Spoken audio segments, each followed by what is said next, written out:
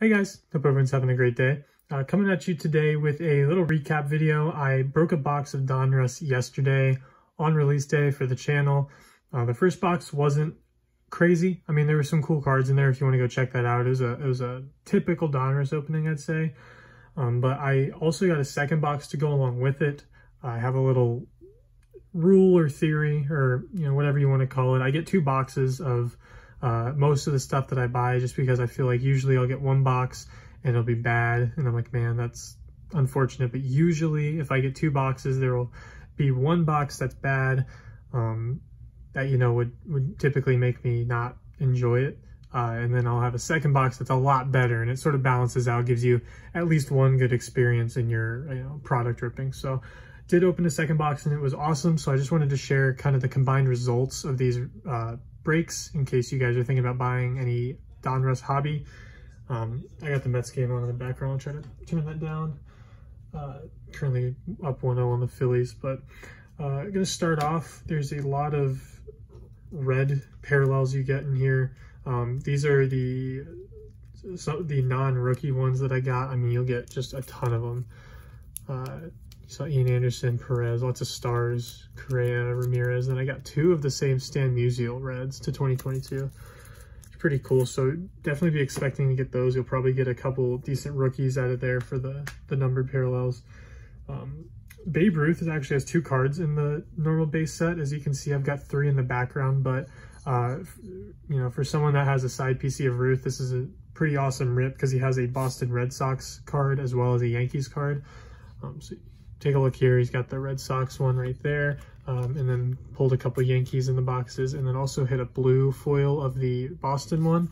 Um, and if you can see in the background, I got the Independence parallel uh, for the Yankees one and then two red borders to 2022, which I thought was really cool. I was really excited to pull those for the collection.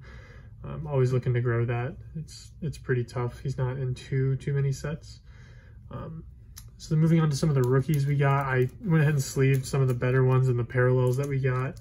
Uh, if you look here, the only base ones I've got are uh, Duran, I got Oneil Cruz, I've got my boy Tylor Megill, big drip. He's still doing great things on the mound. Just started five innings of that combined no-hitter the Mets had. Um, again, I've been big on this guy. Um, I'll say it every time. I think he's a fantastic pitcher. I've loved him since last season when he uh, first came up.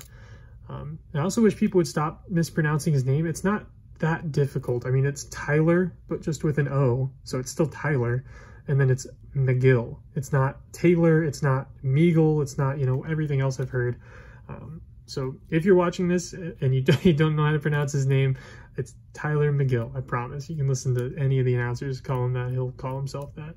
Um, but again, really big on that guy. Uh, Brandon Marsh and Vidal Bruján is kind of our, our base rookies, and then uh, lots of parallel rookies. Like I said, if you're looking for a Wander, if you're looking for another big rookie that you that you like out of the set, you have a good chance of hitting some kind of parallel of them. Uh, I actually didn't hit a single Wander in these two boxes, so he is a little rare if that sort of entices you to join in on the chase. Um, I've seen some breaks, and I haven't seen many Wanders at all. Uh, so this is what I got. Got a couple of these blues here. We got Colton Welker, um, there's a Nootbaar and a uh, nice Seth Beer blue. I was pretty excited about that one. He's been crushing it. Uh, and then Josiah Gray, that's decent. Uh, and then some of the more rare parallels. We got a couple independents of uh, Otto Lopez and then Juan Yepez for the Cardinals. And then also hit a Juan Yepez red. Uh, so doubled up on his parallel rookies and then hit two Cal Raleigh Reds to 2022, which is pretty interesting.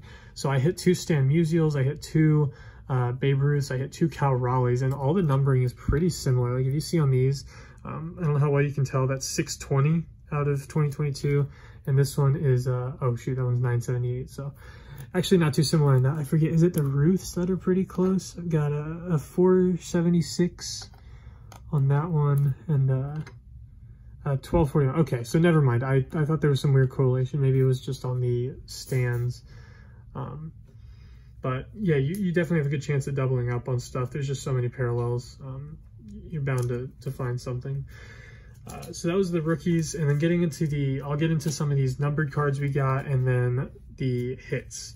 Um, so this is kind of combined between the two boxes. You got a nice Trey Mancini to 9.99. These are in uh, from high, no, highest numbered to lowest numbered. Uh, Kris Bryant, the Arenado Unleashed, we hit to 9.99. Uh, Jim Thome to 500, Max Muncy number. We hit a really nice Stan Musial Unleashed. The second box was kind of a, a, hot box for this guy. Like I said, we hit the two reds.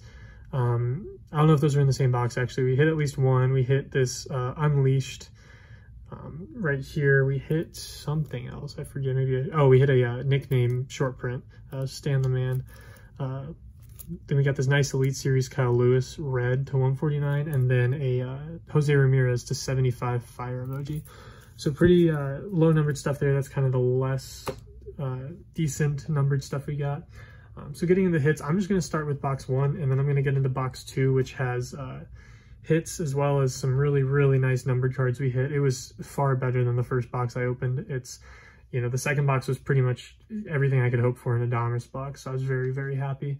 Um, but if you didn't see the video, first hit, we got an Aaron Judge relic to 99 with a little bitty, little pinstripe in the corner there. Um, our autographs were Connor Seabold, which is actually our only pitcher auto in two boxes, which is awesome. Um, and then Otto Lopez. So those are our hits, not crazy out of the first box, but uh, second box was much better in the numbered department. I'm actually going to cover the hits from the second box first because they were less exciting than the numbered stuff, which is, uh, I guess that's good.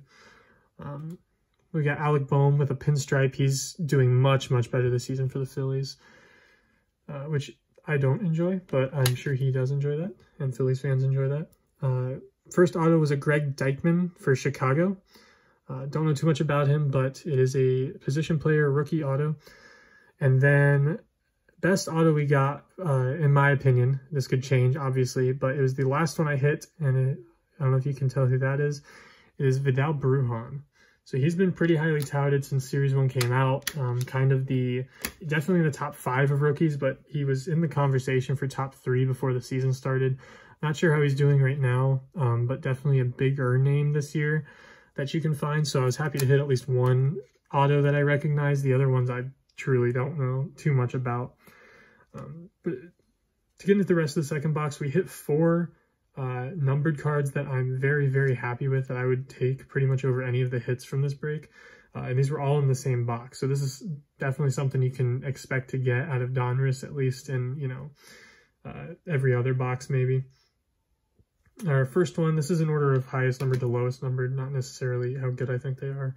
Um, this is actually my favorite card from the break, and I love, love this insert set. Uh, I posted this on my Instagram, um, but I'm so super happy with this. This is a uh, Bomb Squad. This is just the highest numbered one you can get, too. It's to 9.99, but it's a Vlad Jr. Bomb Squad, and that card is beautiful. I mean, the design is like cartoonish, um, but they do put that crazy refractor uh, effect on it that gives it all kinds of crazy rainbow colors, which I love. Um, I remember seeing the Ohtani in the preview pictures for this product, and I was really excited. I was hoping they weren't too hard to get, um, and I guess they're not. I mean, I got one in my second box, so uh, very, very happy with that. It's very cool. Uh, let me know what you guys think of that. I just, I, I think that's a crazy cool card. Um, the next one we got might actually be the best card we got. It's hard to tell right now, but um, this is a rated prospect. This was the only rated prospect I got, and it's this like crazy gold, really nice gold color um, with that weird like wave design. So it's numbered to 99, and it's of Luisangel Acuna. This is the first card I have of him, period. I don't have any kind, you know, I don't do a lot of Bowman stuff, so I don't have anything uh, of his. Um, and as you can see on the side there, it's numbered uh, well, maybe you can see that 60 of 99. Just a really cool card. I love the gold parallels they have in Donruss. They're pretty hard to hit because, uh, again, they're numbered to 99. Um, I saw someone pull the Marvels insert parallel rookie of Wander Franco in this gold parallel to 99, and I can imagine people paying a really nice uh, nice amount of money for that card because it is gorgeous. So that's the kind of stuff I like to hit on Donruss, that those the, the parallels they do really nicely. Um, this second to last one here, this is really for the PC, more of a sentimental card, but it's actually really nice and uh, good timing. Um, this is a, I think it's called an America parallel. Uh, it's numbered 40 out of 51 off the jersey number of Tom Seaver.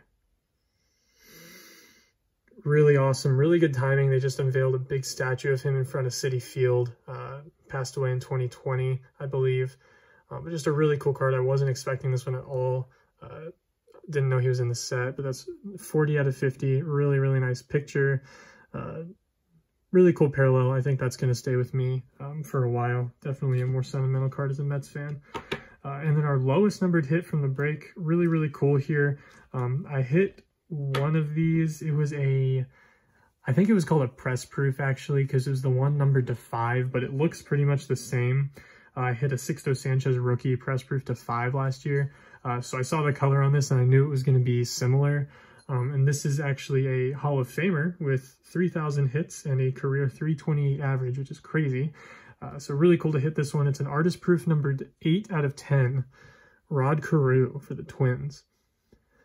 So a really cool card. They're really low numbered. Nice to hit one of these. Uh, so again, uh, on top of the hits, you got the Bruján auto in this box.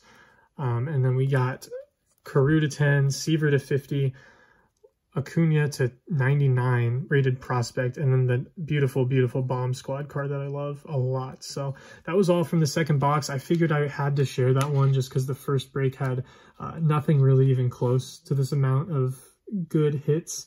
So I hope you guys enjoyed. Uh, let me know if, what you guys think of Donruss this year. I'm loving it. It's just a nice switch up if you're looking for something fun to break where you can get, you know, you can get all of this in the same box and just have some really cool cards that you enjoy. Um, they don't typically sell for too much, but that's not really the point of it. It's just uh, definitely a collector's set uh, and a good way to pad your collection if you want some nice numbered cards or some uh, good amount of hits. Um, so again, let me know what you guys think of the product. Let me know how you guys think I did. Uh, maybe like let me know what your favorite card out of this was. And uh, might break some more in the future. We'll see if I uh, get my hands on it, but I'll try to break on camera if I do. So uh, thank you guys for watching, and I'll see you in the next one.